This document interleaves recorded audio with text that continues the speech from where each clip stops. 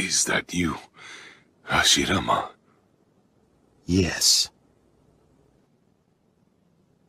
I guess that neither you nor I were able to achieve what we wanted.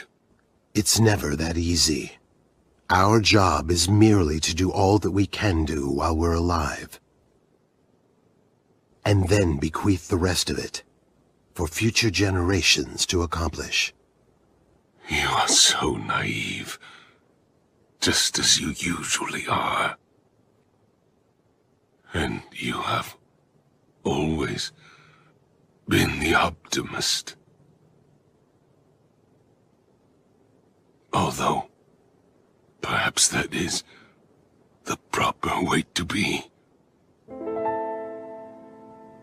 The dream that I had has been squashed. But your dream is still relevant now.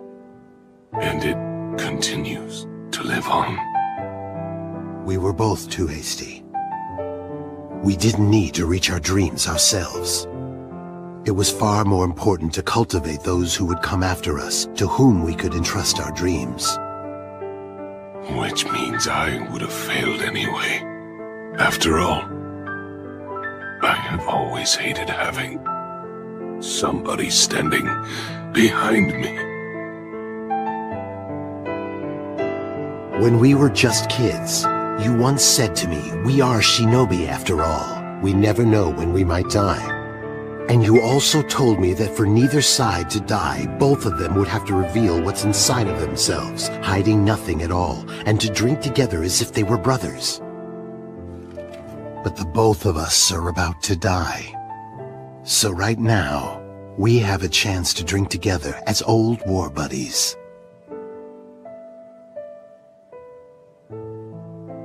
As war buddies.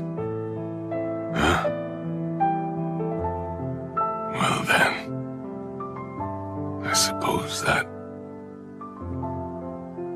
would be.